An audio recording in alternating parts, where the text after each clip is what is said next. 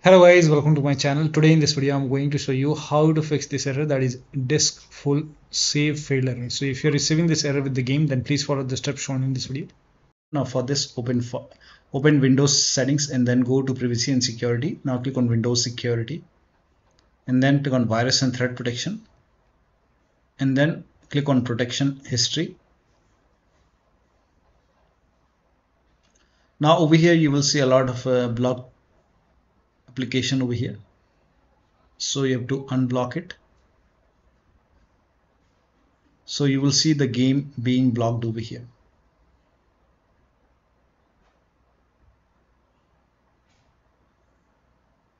So over here you can see this protected folder access blocked.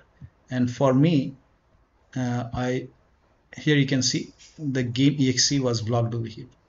Now over here uh, you will see action option so you can click on action and then you have to click on allow. In my case I have already allowed it so I'm not seeing the option. So just click on this low this down arrow and then you will see action option and select allow and then you can launch the game and then check. If that does not work go to virus and threat protection over here and then scroll down click on manage ransomware protection click on allow an app through controlled folder access click on yes to allow and then click on add an allowed app click on browser apps. Now go to the game installation folder. So in my case the game is installed in this location. So wherever the game is installed go to the game installation folder select the game exe file click on open.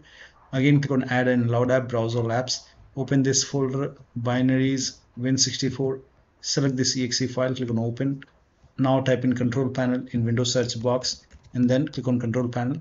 Go to system and security windows defender firewall click on allow an app or feature through windows defender firewall. Click on change settings. Click on allow another app. Click on browse and go to the game installation folder. Select the game exe file. Click on open. Click on add. In my case it is already added. Again click on allow another app. Click on browse and then open this folder.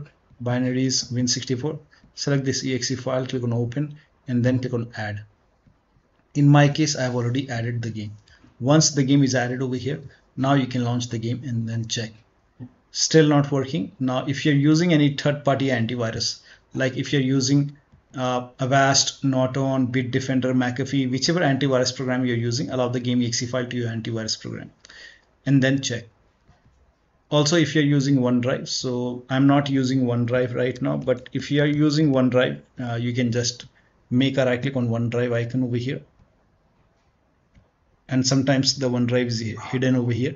So make a right click and then you can click on quit OneDrive, quit OneDrive, and then you can launch the game. And once you're done playing the game you can always open OneDrive so that'll be all. Thank you so much for your time and please like this video and subscribe to my channel